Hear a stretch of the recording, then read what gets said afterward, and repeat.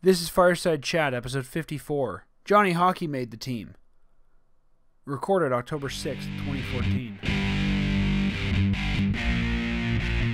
Are you ready? Sea of Red, it's time for another episode of Fireside Chat. We're less than 48 hours away from the start of the regular season, and it's Dan and Matt back with you. I'm Dan Stevenson alongside my co-host Matt DeBorg. How you doing, Matt? I'm good as always. Ready for the season to get started? Oh, definitely. Does it seem like training camp has been a longer training camp this I mean, I know days wise has been the same, but to me it seems like there's been a longer camp and a lot more news this year. Does it feel that way to you?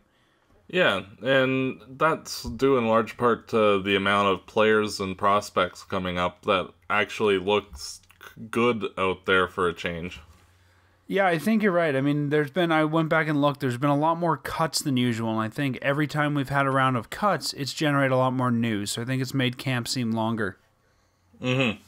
Usually after the first three or four games of training camp, like it's pretty much the opening day roster, but we had players still here right through to the last game, so it's a bit of a different spin on things. Well, let's get started by talking about some of the final moves of camp. On the last two episodes, we've talked a lot about uh, the training camp. Um, big news that came out today, well, I guess relatively big news. The Flames finally locked up Raphael Diaz, who is here on a tryout agreement. Um, they've signed him to a one year deal worth estimated 700K, is what's being reported. So I think you and I both thought that Diaz would be the seventh defenseman, and to me, that's a great price for a seventh defenseman with NHL experience. Oh yes, definitely. And if he can provide anything positive moving forward, that's great. Yeah, I think, you know, Diaz had a weird season last year. He underperformed. He's only 28 years old, so he's still a fairly young guy. And I think, you know, he bounced around the league last year, but for 700,000, he's not going to be expected to contribute a lot as a seventh guy. And I I'm hoping that he'll be one of the guys that pleasantly surprises us this year. Yeah, and if he can be a step up on uh, Derek Smith from last year, then it's a net gain. Yeah, or even I mean, looking at the guy that's no longer in the lineup from last year, which is Chris Butler. I think you know that's probably a better comparison because Butler was an NHL player full time last year. Yeah. So I'm happy with that. I uh, predicted last week that Diaz would be our seventh defenseman. Um, speaking of which, we talked last week that the Flames were going to pick somebody up off waivers. We predicted from the guys that were on waivers. The Flames picked up nobody, and none of them got taken by anyone. Did that surprise you? Yeah, a little bit, but I can understand why they didn't. It would have been a good opportunity to get a free asset, though, but I can see why they didn't. They likely did not uh, figure that the other teams would have let go of those players if there wasn't something wrong with them developmentally wise. So yeah, I mean it's not like we needed that player and it's not like it was a big name from waivers. And I'm still of the belief that I think we will end up acquiring somebody from waivers in the next week or so here as teams are starting to finalize and cut down to their uh, opening day rosters. I think there's going to be some decent talent available. Yeah, there usually is every year. Yeah, especially with rookies that aren't quite good enough and they might try to sneak them through. So, just have to keep an eye on that. Along with our signing of Diaz, um, the Flames announced today that Tyler Wotherspoon was reassigned to the AHL. Wotherspoon, I think he's been injured all training camp, hasn't he? Yeah, I don't think he played any games. Yeah, he had a shoulder injury, and so they send him down to the AHL. Which, looking at our defensive depth, I'd rather not carry Wotherspoon as number eight defenseman. I'd rather send him down to Adirondack and let him get some actual play time there. So I think that's a great move. Yeah, and looking at uh, most of the players that have been cut, it it's better for them to have top line experience in the AHL than getting press box time up here. And I think that's the thing a lot of Flames fans are not really thinking about. I'm hearing a lot of people say, oh, well, they're sending all the kids down. And you're absolutely right. I think we have to look at this realistically. And we could have a roster full of young players if we wanted it. but then somebody's not getting the playing time they deserve. I would rather have a makeup like it looks like the Flames are going to have for opening day, where bring up a young player if there's a spot for them and they'll get play time. If not, send them to the AHL and let them get, you know, all the playing time they can there and bring them up and down as needed. Yeah, well, like say Sven Baertschi, he's gonna get 20 minutes a night plus in the AHL. Up here, he might only get fourth line minutes. Well, would you rather have him getting seven minutes a night up here or 20 minutes down there? Like, you know, it you need time to work out the little flaws and hiccups in your game, and ice time is the best cure for that. Yeah, well, and that's a good point. So let's talk about those final cuts then. So the Flames made their, I guess, their final cuts, if you will, um, yesterday. Wotherspoon was sent to the AHL today on Monday. On Sunday, they sent down Sven Baertschi, Joni Ortio, and Josh Jooris. And when I saw the list, I had to kind of pause for a minute. When I look at the list of kind of guys that were on the bubble, guys I didn't expect to make it, I did not expect Josh Jooris to be the last cut from camp. What about you? No, but that's a testament to how well he played. And that's good for him. And it it's always good to have surprises in training camp. Oh, and for sure. It helps move a rebuild forward when you have an unexpected guy like Josh Jooris come out and say, "Look at me, I'm a good player." And whether he continues on and becomes an NHL player, that's up to him. But it's encouraging to see him being the last cut.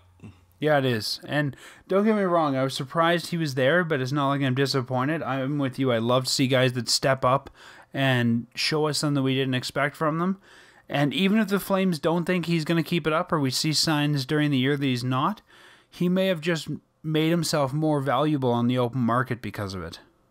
Exactly. And I would rather have guys like Jooris step up than guys like Cundari and Hanowski who kind of waffled a bit during the preseason.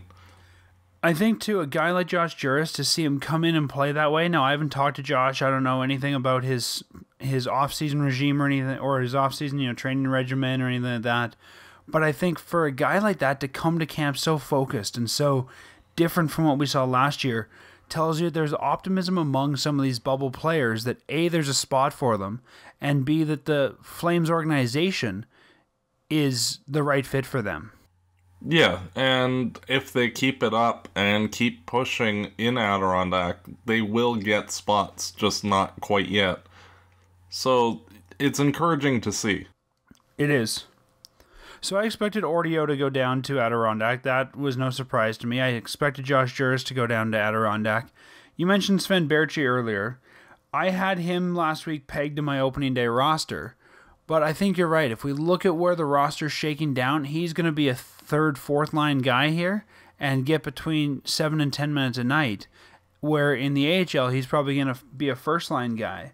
I think talking to Flames fans, the biggest thing everybody thinks is that these are like permanent reassignments, and they're not. These are just reassignments for opening day. I'm of the belief that Sven's going to be the first call up this year. I think as soon as there's a spot for him, he'll be back here. Oh, I agree wholeheartedly. And and I think he can one- even win himself a full time spot here. Yeah, and one of the things that I noticed about him was that he was playing a more defensively sound game, especially compared to last year.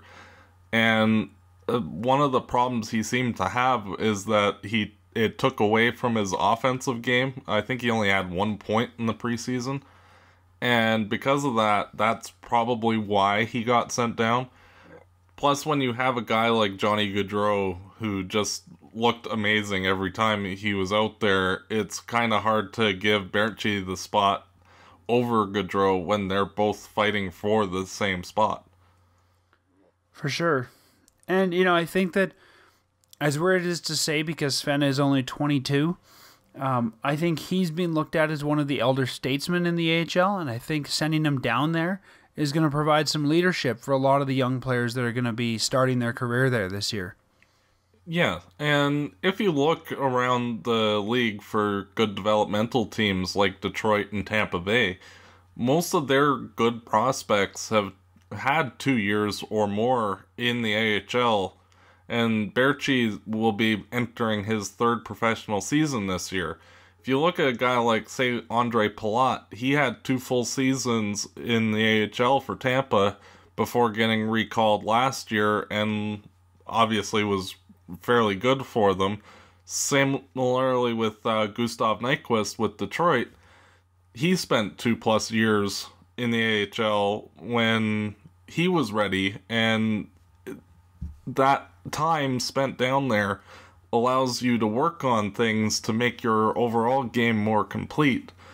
It, so it's not a bad thing that Sven's going down. He just has to work on all the little things to become a complete player. Yeah, And- I, think I think it's a tool, and he has to utilize the opportunities being given and look at it as an opportunity to make his game better in a learning environment. Yeah, and that's why having him down there playing 20 minutes is a good thing because he will get the opportunity to figure out all the little details that he needs to work on and getting the right balance between being an offensive player and a defensive player. It it can't hurt and uh, like a lot of Flames fans I know have been rather pissed off that frankly that only Gaudreau is going to be in the NHL to start the year in a rebuild. But if you look at our roster, like all the guys have one or no years of professional experience, with the, the exception of Baertschi and Reinhart. So, like, not a lot of experience with our kids, even though they are good. So it's hard to manage that as well as going through a rebuild. I agree. I think, and it's interesting the players that you compared um, Sven to. I think part of the difference there, in my eyes, is the Flames are a rebuilding team, and I think fans here expect on a rebuilding team that young players just sort of automatically make the team. And well, he was drafted in the first round, she should make the team. I think too the fact that he did play in Calgary for his first year also kind of set that precedent. But I totally agree with you. I think as much as I thought he was ready for the opening day roster, and I still do, I think that sending him down isn't going to hurt him. I don't think it's saying that his career's done or anything like that. If he stays down there all year, it's another story. But I'm not convinced that A, Gaudreau is going to be here all year, and B, Sven's going to be in Adirondack all year. Yeah, and it like if Baertschi goes down to the AHL and totally sucks and is terrible down there, well, you're not going to gift him a spot and you reevaluate his NHL potential after that. But if he goes down with the right mindset of working on his game to become that NHL top six forward that he looks like he should become, then that's a good thing. Do you think that the Flames will throw a letter on him in Adirondack as a show of confidence in him still, and also because he is, as you said, him and Reinhart are the two kind of elder statesmen there? It wouldn't be a bad idea. Would you put it on a C or an A if you were making? I would probably put an A, and a guy like uh, John Ramage or one of the more veteran guys like Corey Potter would be the captain, possibly. Yeah, I'm thinking the same thing. I also think that based on what we saw last year with some, let's say, immature behavior with Sven, I'm not sure that he's perhaps the leader that they want to wear the C. But I think it would be a great idea to give him a letter and give him that show of support. I think you're right. Potter could be a great guy to uh, wear a letter Mm-hmm. and wear the C. Um, Max Reinhart, I don't think is ready for the C yet, but yeah, I think Potter. Potter's probably the right guy and probably isn't going to get recalled right away where there's going to be an issue there. The players know, like in the room, who's the right guy for that. We're kind of outsiders on that aspect. So Yeah, I don't even know if the players know yet. They're all brand new. I think this one might end up being a coach's decision. Well, now that training camp is over, now that Baertschi, Ortio, and uh, Jooris have been sent back to Adirondack, um, any final thoughts you have about the camp? The players that are left, anything? Uh, I was just encouraged by the level of competition and play by the younger players, and a lot of them did make a good statement for being NHL caliber talents.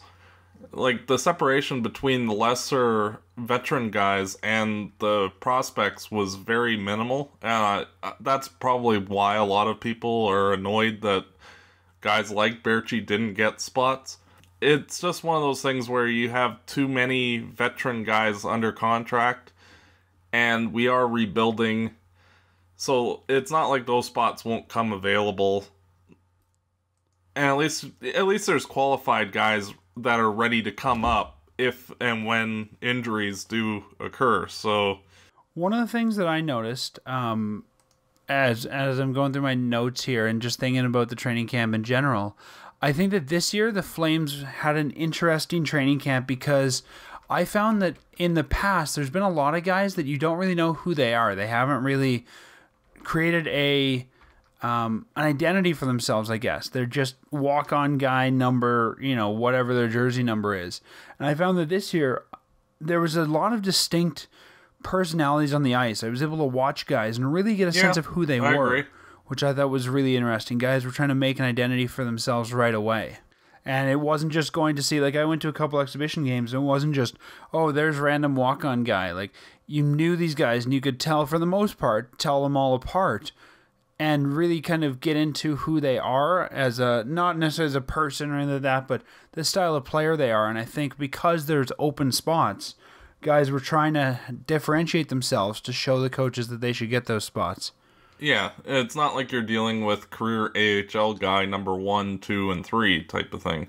No, or even in the past where say the Flames didn't have spots, so it's like, well, why you know go through all this when I know I'm not going to make the team anyways? Mm-hmm. I know what So you I mean. think I think the fact that they had enough open spots and the fact that guys like Josh Jooris were stepping up, I think might have motivated other people to really say, okay, this is the kind of player I want to be. You know, they might look around and see the Gaudreau and the Bennett and say, this spot is full on this roster.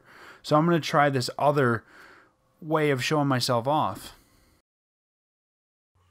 Yeah, sort of like uh, vying for those uh, third and fourth line spots as well. Yeah, vying for the third and fourth line spots, and I think also showing the Flames what kind of player they want to be when they go to Adirondack. Mm-hmm. So I was happy with that. Um, when I look around this this team, I think that the Flames. I don't think we can say yet they have one of the better development programs because we don't know how the program's going to look. But I think it's a very strong AHL team this year, and I think that anytime you get an injury, this team is the Flames have had injury history of being really screwed by injuries. They tend to get decimated hard and heavy at some point every season, it seems. And I think we have enough guys this year that we can confidently bring a ton of guys up to fill those holes and still not have a gaping hole in the AHL like we did last year. Yeah, and there looked to be about eight or ten guys that, if they needed to be called upon in the NHL, uh, they wouldn't look out of place. No. So that flexibility will definitely help moving forward. And if you remember last year, they called up a ton of guys to deal with injuries, and then the AHL team, which looked like it was going to go far in the playoffs, really ran into a hard run there because they ran out of players. And I think that this year it's going to be a hard for the Flames to pick who they want to bring up, which is good. But I think there's enough talent there that they're not going to run into that issue again. Yeah, and when you add guys like Arnold, Gaudreau, uh, Van Brabant, uh, Agostino, that weren't in the organization per se, like they were in college, like adding those guys on top of what we already had just adds to the depth. I'm just counting the players here on the uh, Adirondack roster, and this is either going to be a very deep roster, or I think the Flames are going to have to get creative with where they put some of these guys. We might see the Colorado ECHL team have some players put down there and have them be strong, or we might see a ton of loans happening because there's some of these guys I can't see the Flames wanting to play third and fourth line minutes in the A. Yeah, and that's a good thing. And It is. with the amount of quality draft picks that the Flames have had over the last three, four years, it, it's starting to flesh out the whole organization, really. And that's just a byproduct of that will be having a really deep and skilled AHL team. Unfortunately, it's those players haven't quite had enough experience in order to transition into the NHL yet, but that will be coming soon. Yeah, and I mean that's what that's what this is all about. And I think anyone that says all the kids need to be on the roster all the time isn't really looking at the bigger picture. They're looking at yeah, that'd be entertaining, that'd be a good media story, but look at Edmonton. Really, look at Edmonton and how screwed up their team is. Uh, they rushed a lot of their guys, and it screwed over quite a lot of them. It, well, that's it. And and what's the rush? Yeah, we're gonna be a bottom five team likely, whether we have the Sven Baertschi's up or not. So what difference does it make? We're not gonna make and, the playoffs. And arguably, if there's one year to stink, it's this year. Yeah, especially with the draft this year. Well, that's that's why, yeah, because there's two great players in the draft this year that everybody's looking forward to. Well, not only that, there's like four or five guys that are actually quite good. So it sucks as, you know, watching the Flames this year because we will be terrible and there's not going to be a ton of excitement. But we were terrible last year too and everybody rallied around this team it it'll be frustrating, especially because like all the players that people want to see will be in upstate New York, but that's what will be good for those players moving forward. So if they get the seasoning that they need in the farm, uh, like next year and the year after, you'll start seeing the guys like Baertschi, Ferland, Reinhart, those guys actually sticking in the NHL instead of heading back down there. Yeah, and it's it's interesting you mentioned that everybody that players or that uh, people want to see are going to be on the farm. I know for myself, I'm already looking at the at the Adirondack schedule and figuring out games I want to watch, and I know a lot of the AHL games are online, so I wouldn't be surprised if they get a lot more viewers than they usually would because I think there's going to be a lot of Calgary fans that want to follow Adirondack more closely than perhaps they did with Abbotsford. Yeah. Do you know if there's a like a game center type thing for the AHL or do they just stream on their website? Um, I'm not sure. I watched a couple games last year on TV, um, and I know that they were trying some different things last year, but I'm not 100% sure. I think it's just streamed on the website. Uh, if you're not in like I think they do it by regions. They check your IP address, and if you're not in the area, then I think you can see it online. Okay. But I'm not sure. It would be a good thing for us to. We'll check into it and we'll let people know next week. Yeah, because I know that there will be a lot of people that will be interested in that kind of thing. So. So we're we're, we're the day before uh, training camp, or not before training camp. We're the day after training camp, but the day before rosters have to be in. The uh, Flames have to submit their opening day rosters to the league by Tuesday afternoon. And right now, the Flames sit at two goalies, I believe nine defensemen. That might be eight after Wotherspoon got sent. Well, Wotherspoon got sent down and Diaz got brought up, so that probably cancels each other out. And 16 forwards for 27 players. They need to get themselves down to 23 for opening day. Right now, Granlund is still on the roster, but he's injured. Bennett is still on the roster, but he's injured, and Backlund's on the roster, so he's injured. So that gets us pretty close. Um, that gets us to 24. So we need one more guy to be sent down, I guess. Who do you think's gonna be sent back down to make that last roster spot? Well, I think Corey Potter is still on the roster, so I would assume he would go down. And is he hurt though? I think so. Okay, so he'd just be if, IR then. Yeah, if not, like if he's not hurt, he'll probably be one of the first people tomorrow to go on waivers. Okay, so yeah, I'm pretty sure Potter's hurt. Um, Matt and I were looking today. We're trying to find like an official NHL injury list, IR list. There doesn't seem to be one, but according to the ESPN list that we're looking at, um, Potter's not listed there, but that doesn't mean he's not hurt. But yeah, I agree with you. I think he'll probably be waived and sent down. Um, now that they have a defenseman in Diaz, I don't think there's any reason in keeping Potter here. Now, the interesting thing is Gaudreau is still on the roster, a guy that I don't think either of us expected to make the opening day roster here. Do you do you think he stays here? No, he. I think he made the team because he's just that good. Like I, I knew he was good It, it's one of those things. Every shift that he was out on the ice, he was doing something noticeable, and he was very dangerous pretty much every time he was out there. He, I don't see any benefit now to sending him to the AHL. Like I thought he might have some conditioning issues that you know, not playing all the time like he is expected to now. So I think he talent wise, he has shown enough where he sticks. I agree with you. I think he earned a spot on the team, which is what we wanted to see this year. We want to see somebody earn their spot there. I think he is right now on the roster because Backlund's out, so it gives us a hole to fill. Well, but Backlund think... returned uh, in the last game against the Jets. So... Is he back? Yeah, because he's uh, he practiced Friday. Okay, so he's back then. So either way, I think he's on the roster now. I I think, like you said, the conditioning and stuff. I'm not so much worried about the conditioning with uh, Gaudreau. I'm worried about his size and his ability to perhaps play in this league, and I think this is where they're going to test him out. I mean, he doesn't have to clear waivers. If he can jump in against NHL quality players, because he's played a lot against rookies and training camp, you know, level guys. If he can jump in against full time NHLers and still look as good, yeah, I'd keep him here. If not, it's easy to send him back down. Exactly. Like if he after the 20 game mark, if he's struggling really bad, send him down. Yeah. If not, like if he's holding his own, why not keep him up? He's not going to benefit like if he's performing in the NHL, he's not going to benefit from being in the AHL. So, if he's doing great, just let him rip.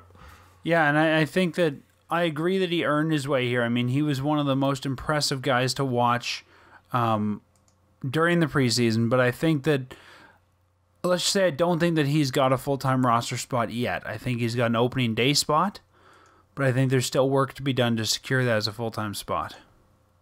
Mm-hmm. We'll see. We'll see. Hopefully he hopefully impresses us. Yeah, and worst case scenario is he goes back to the AHL and plays down there for a bit and works on being an impact player both at home and on the road because most of his points came at home when the Flames had good matchups. So we'll see. The other player that is interesting, and Matt and I were trying to find information before we started tonight, is Bennett is injured. And we're trying to find out for sure if Bennett is hurt at the beginning of the season, if the Flames can still keep him here to play nine games when he's healthy, or if he has to be healthy at the beginning of the year for that. Yeah, I don't know. I think you have to play in nine actual games, not just be up here for nine games. But yeah, well, that's uh, what I wasn't sure. Like, if he's hurt for the first twenty, could they play him in nine after that? Once he's well, the thing is, is that uh, uh, like if you got hurt per se, like right at the beginning of the season, and you're out for three months, you're not able to be sent down until your injury heals. Right. So I don't know, like, because uh, like that would obviously surpass the nine game mark, and I don't see why that would ca- count as a contract year type of thing. I think that might be different with junior though, because if you're, I know that's true with the AHL, but I think you can still be reassigned to junior if you're not signed to a contract. Oh no, I'm meaning like it burning a year off the oh, contract oh, yeah. because of that. I don't know though. So if anybody knows, let us know. Uh, tweet us or let us know on Facebook because we'd be we're both really curious as to what the situation with Bennett's going to be this year. And if he's healthy and ready to go for game one, I think they might keep him up for a few games just to give him a taste.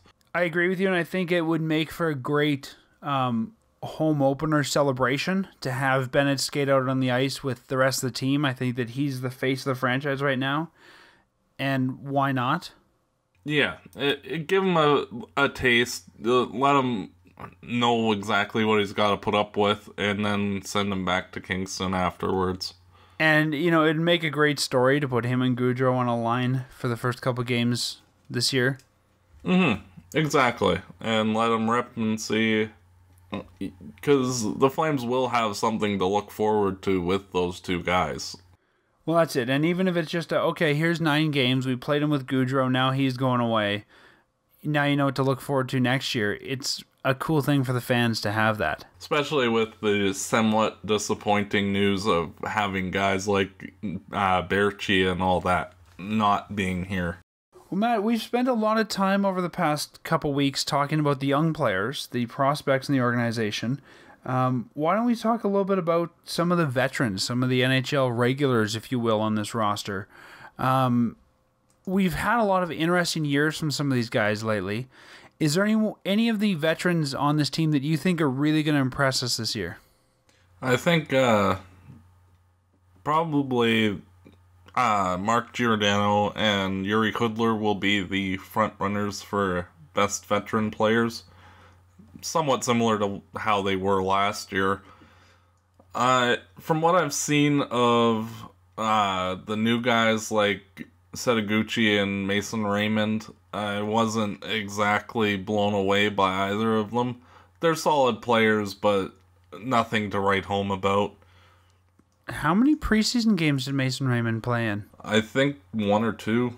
Okay, I remember him in one. I wasn't sure. Yeah. It, he was injured for most of it, but he Yeah. didn't really stand out as being super awesome. But he wasn't bad either. And same with Setoguchi. They were just kind of there. I, I agree with you about Geo. I think that we saw a really good year from Geo last year that he's going to build on. Um, I agree with you about Hudler. I disagree with Raymond. I think that Raymond has some to prove this year. Um, when he played in Vancouver, he was kind of second fiddle to the Twins, as anybody would be. And I don't think he necessarily got the chance to shine.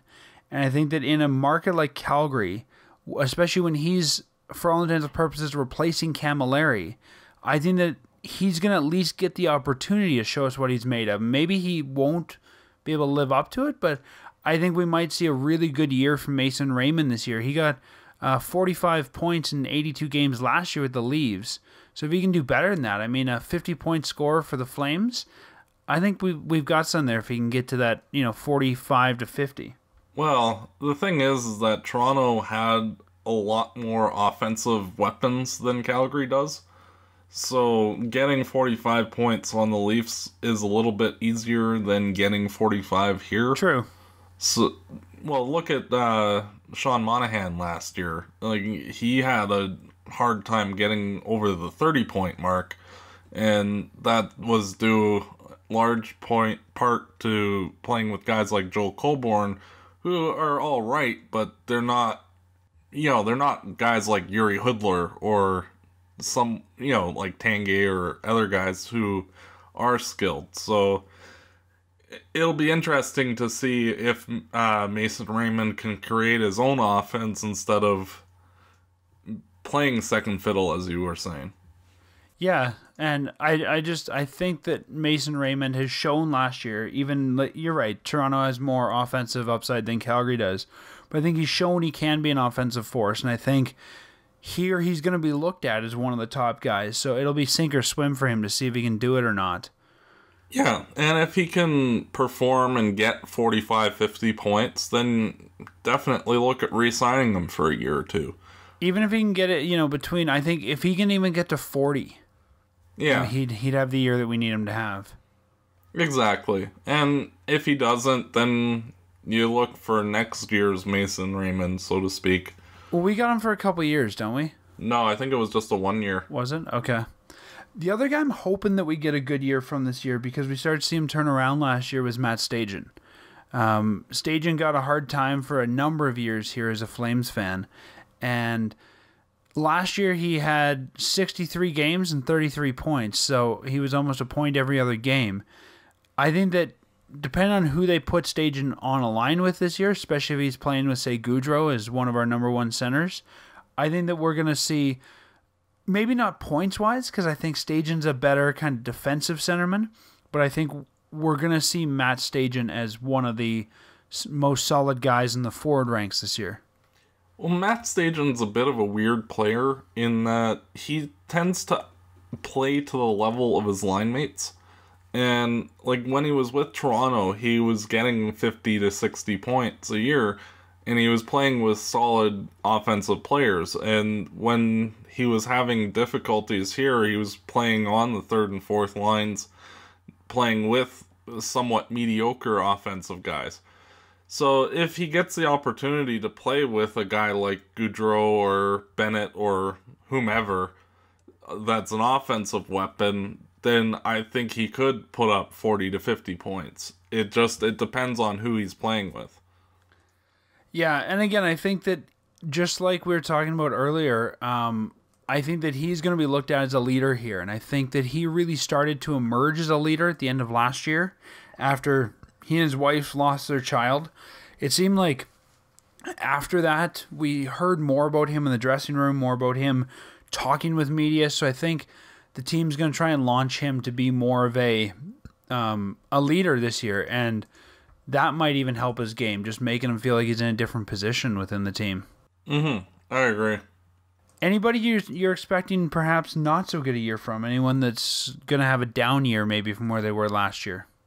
Well, I'm not expecting a lot from guys like Setoguchi, uh, Brandon Bollig, that those type of guys. Like I don't see a lot from them, at least in the preseason thus far. We'll see how it goes in the regular season because you know that's a different ball game. But But I think that Brandon Bollig was brought in with certain expectations, and as much as we might expect a lot from him, I think he's going to meet the expectations he was brought in under. yeah, I just I'm not really a fan of his from what I've watched. But uh, things change. I think, you know, like even look at a guy like McGrattan. He's come here and it took him a while to become as popular as he was.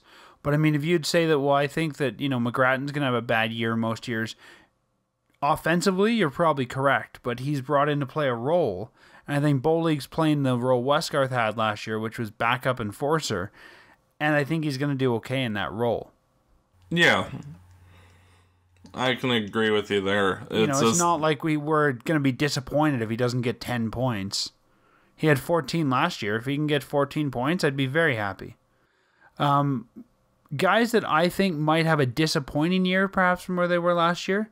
Um, David Jones, I don't think is going to have a great year. What did he do last year? He, he played 48 games and got 17 points. I think Jones is very quickly going to be um, limited in ice time this year, so I don't even think he'll get 48 games. I agree with you, Devin Setoguchi, but again, I think he will meet the expectations he's brought in under as a guy on a one year, 700,000. I'm not expecting much.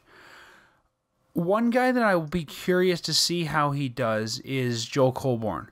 Um, he had a good year last year with 28 points. I think that with the roster the way it is this year, and Colborne probably transitioning out of center, which he did better at last year, I don't know that Colborne is going to do perhaps as well as he did last year. I think he was given a lot more ice time and chances last year because he was kind of the young upcomer. And I think he might just kind of get lost in the lineup, if that makes sense. Yeah, it with him, it, he's probably the one player that I could see going either way. Like either he'll develop into a quality top six ish forward, or he'll just stink up the joint. And knowing what you have, it to predict right now, it's kind of hard to put your finger on him. Yeah. I also, as much as I don't want to put his name out there as a disappointment, I think this is going to be an interesting year for Curtis Glencross. I think Yes. just like Colborne, he's either going to have a great year or he's going to have a really bad year. And I think we're going to find out, you know, within the first 30 games which way he's going to go. Mm. and it'll determine whether or not we even attempt to keep him beyond this year. If he comes in and is somewhat mediocre, uh, which he was at points last year, then I think you just kind of look to trade him at the deadline and nice knowing you. Or Glenny only played 38 games last year and 40 the year before. So, I mean, he is a little bit injury prone. He's not playing a lot of hockey, but when he does play, he's a good player. Like, when he is playing, he's getting a lot of points for the team, but I just I don't know that he's going to be consistently in the lineup enough to especially with the lineup that we see around him to put up the points he needs to be where he would be in this lineup. Yeah. Plus, you also have to look at the fact that he is a left winger primarily, and you have guys like Gaudreau and Baertschi that are needing his roster spot. So, unless he does something above and beyond to keep him, I don't know as if you would. Yeah, I mean he's a fan favorite here, which I know I would kind of be sad if he left because I like him as a player when he does play well. But again, I think there may be more value with him this year, moving him now and not doing what a lot of people think perhaps we did with Iggy and keeping them longer because they're fan favorites. I think if we can get value from Glenny, this is the year to get rid of him. If if we wait till next year, we might not get anything for him. Yeah, like I like Glencross, but seeing where the roster is and the prospects where they're at, uh, is that roster spot needed for a guy like him, or would it be better served with a kid? I don't know. Well, not It- only that, but what can we get back for him that could help improve the team either now or in the future? I agree. And I think if you're going to move him, you almost have to do it before Christmas. Um, I don't know if there'd still be value for him at the deadline. We'll see. But he's one of the big guys here who's been here for a number of years that I wouldn't be surprised if he's not wearing a flaming C come closing day of the season. Yeah. Well, additionally, he would be very attractive to a bunch of other teams because he isn't getting paid very much. So, if especially if the Flames were to eat half of his salary, like that's only 1.25. So, you know, that would be extremely attractive to a bunch of teams. Yeah, well, he's on the last year of his contract, um, so too. he could be he could be a rental player at the deadline, but making two and a half million in the last year. You're right. That's a contract that I think pretty much every team would be able to swallow. Mm-hmm. And again, if we need to, we'll eat some of that salary. We got lots of money to play with. But I think Glencross is going to be an interesting player to watch this year for that reason. Oh, definitely. On the defensive side, anybody we talked about Giordano, anybody that you think is going to do really well or really perhaps poorly this year? Well, I'm interested to see what uh, TJ Brodie does. Like, does he emerge as a top pairing, like, really good, exceptional guy? Or is he more of a 3 4 guy that's being pressed into top line duty? Uh, that's a question that we'll just need to wait and see. Beyond that, I could see a guy like Dennis Wideman struggling because he's still his wrist it it usually takes a year or so to recover from a year, wrist injury like that and that was like at the midpoint last year so he might struggle because of that beyond that guys like Smid and Russell they're there I think this is a breakout year for Smid. I think Smid has never been looked at as a premier uh, defenseman in this league. And I think we saw him last year come into the Flames and play very well on our rebuilding team. And I think this is Smid's chance to show that he can do that if he can and really kind of cement himself as either a 1 2 guy or a, I guess, a 1 2 3 guy or more of your 4 5 6 guy. Well, I look at him as basically being more or less what Cory Sarich was when Sarich first came to Calgary. A solid, physical, defensive oriented defenseman. He might chip in a bit of offense, but more just your shutdown guy. And I think if he can establish himself as that going forward, then like as we're coming out of the rebuild, that would Yeah. be a very useful guy to have. For sure. And we got him for this year and two more after this at 3.5 million a year. Mhm. So I think he's actually making about what Sarich made here. Wasn't Sarich making like three five or four? Yeah, something like that.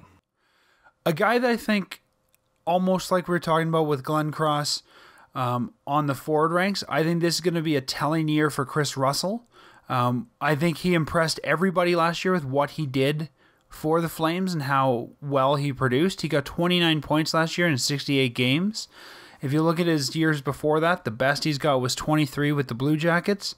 But I think this is Russell's chance again to really show that hey, I'm kind of top top let's say 4 5 material or if he's going to be another guy who fades into obscurity as a 6-7 guy in this league. Yeah. And I think this is Russell's chance this year um, on a two year deal. He's got this year and next year 2.6 each to really show the Flames what he's got and other teams around the league what he's got too. He's being paid more than Brodie. So I think that, you know, if you look at it that way, he's got to deliver this year.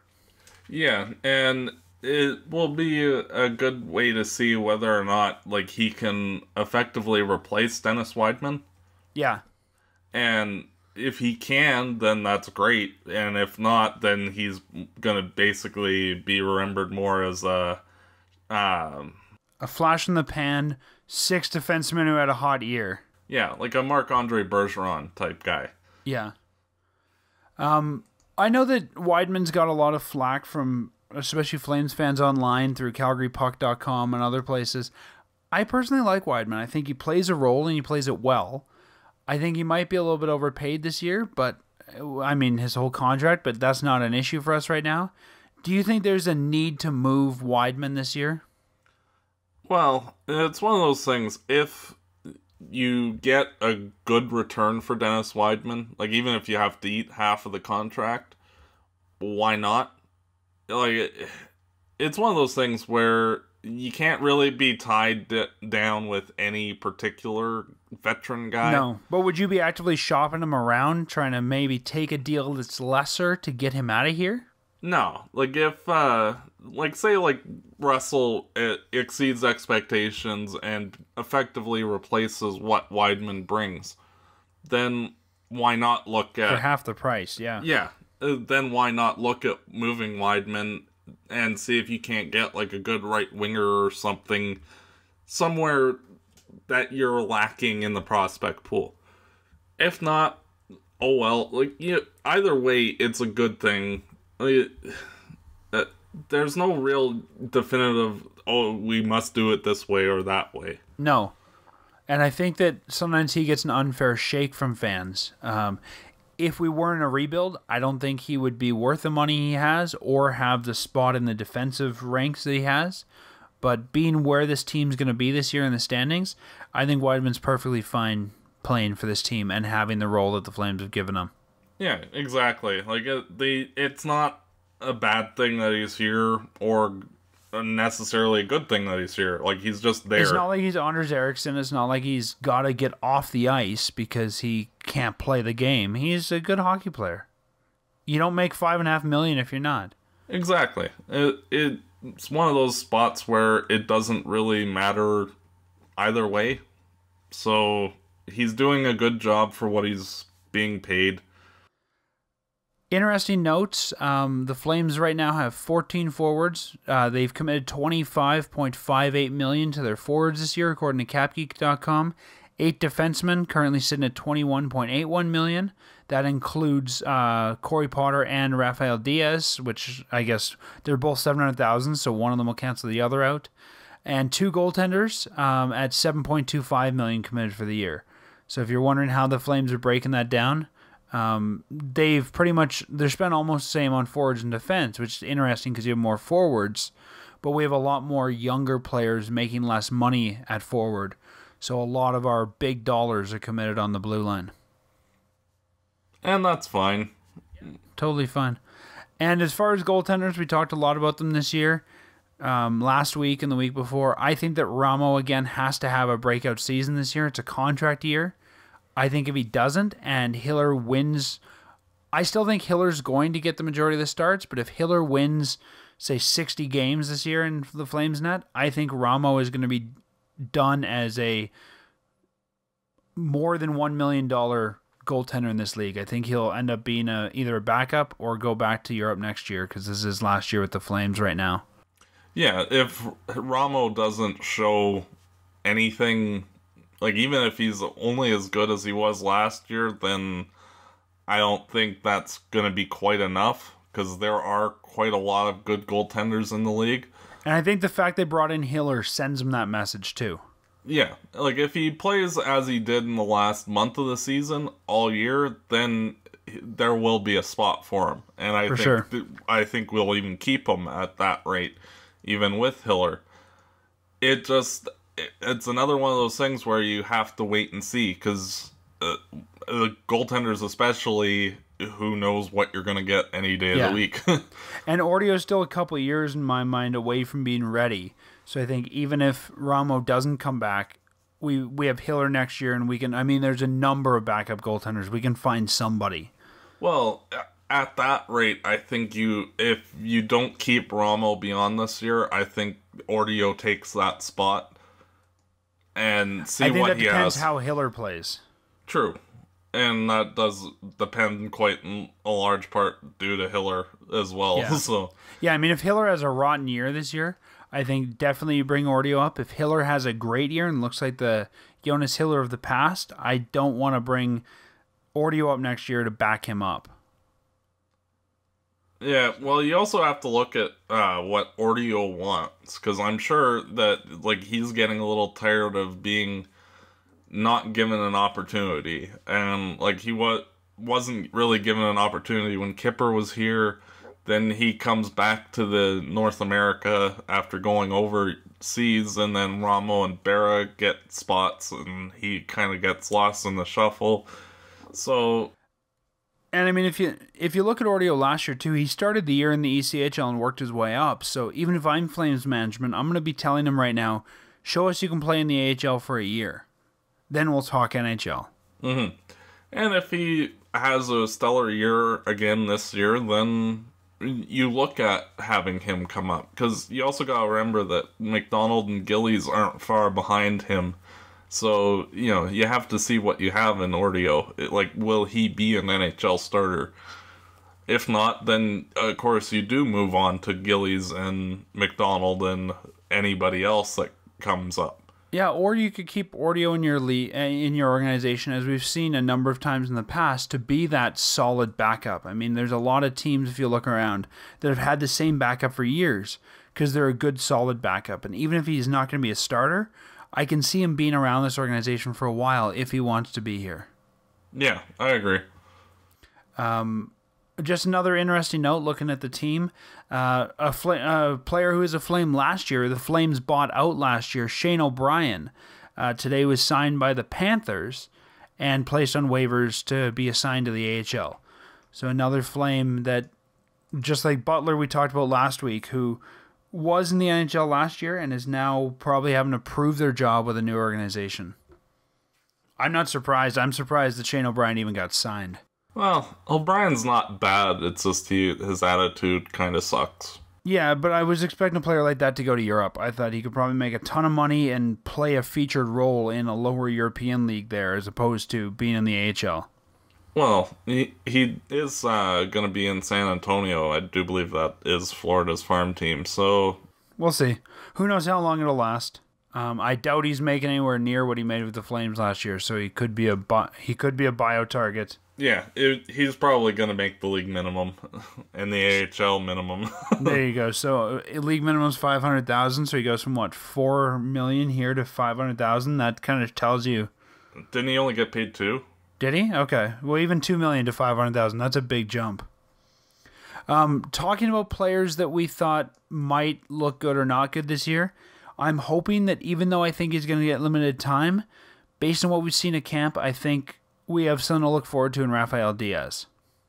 Yeah, I think again he's a player that has to prove himself this year. I mean, he didn't get signed as a UFA; he had to go to camp and be invited a tryout agreement, which I have to imagine is hard on the ego as a guy who's you know an NHL player who's played in the NHL and made more than a million bucks. He looked good to me every time he was on the ice in the preseason. As much as I'm not expecting him to get a ton of minutes this year, I think he's a guy that we're gonna have a good year from because he has to have a good year um, to prove himself as an NHLer past this year, and uh, I think he'll be a very steady s- number seven. yeah, and if he can contribute anything on the offensive side of things, that'd be good. I'm not really expecting too much out of him, just due to the fact that he is the number seven guy. He played six preseason games with the Flames and had four assists. So even if he can keep up that kind of a pace, that's pretty good. Yeah, and it, exactly. If he can contribute on the offensive side of things, then that's fine. Well, Matt, I think that's uh, that's a bit about it for the big club. One thing I did want to touch on was some of the young Flames, the future Flames, who are doing some some good stuff already in this season. Um, a lot of names that we talked to at the rookie camp this year. Um, some interesting notes. Uh, Austin Carroll, who was the Flames' seventh round pick this year, has been reassigned to the Victoria Royals. And he is second in the team in scoring with five points in four games. So quite a good start to Carroll's season, which is good to see, especially from a seventh round pick.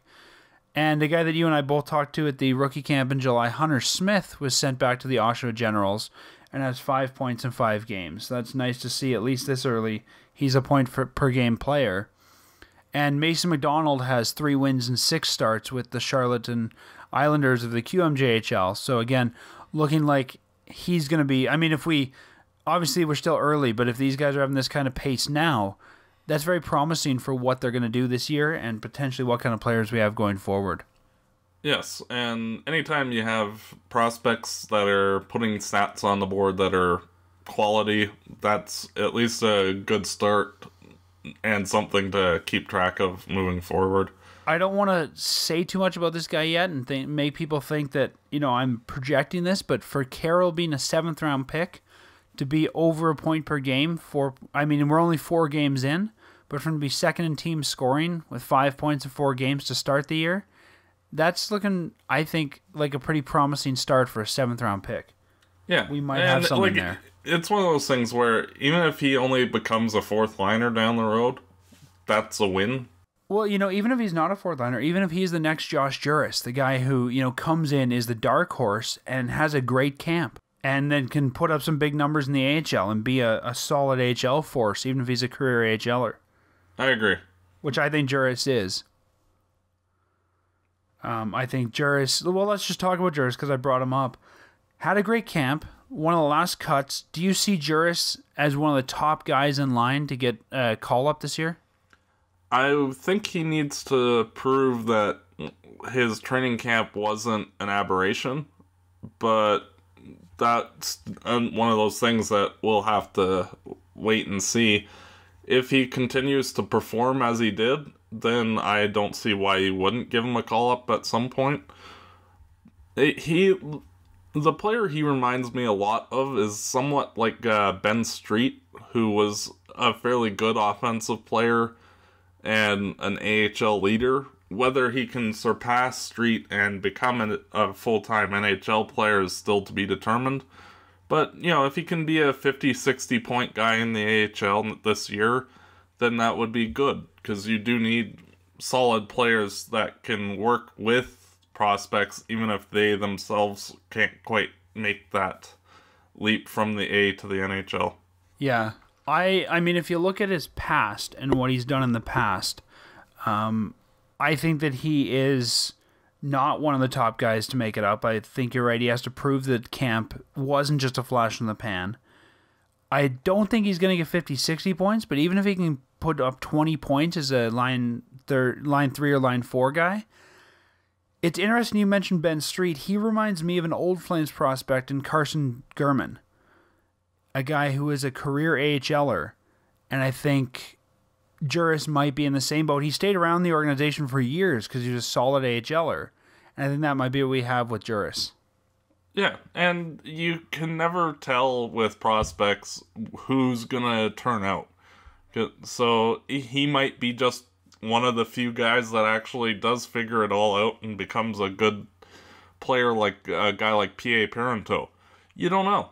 And, and, and, sometimes just being around good talent makes everybody better. And if you look at the roster that's going to be featured in Adirondack this year, he may have a good year just because he's got great line mates and he's with a very talented team too.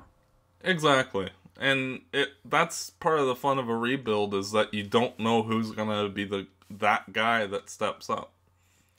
Yeah, for sure, and and that's part of the cool thing. I think of being even the coach in Adirondack is you almost get to play. You you don't have a, a, you know established lines or guys in really established roles. I think you can play with guys in different roles. You can play with guys in different lines. I think it's going to be cool to watch those games because I think we're going to get see a mixture of a whole bunch of guys playing a whole bunch of different roles on a whole bunch of different lines down there. Oh yeah, it'll be fun. And next next week, after we see what the opening day lineups look like for the whole league, uh, we'll have a bit of a discussion as to if we think that Adirondack might even have a shot at the Calder Cup this year. Um, once we see how everyone's opening day roster turns out.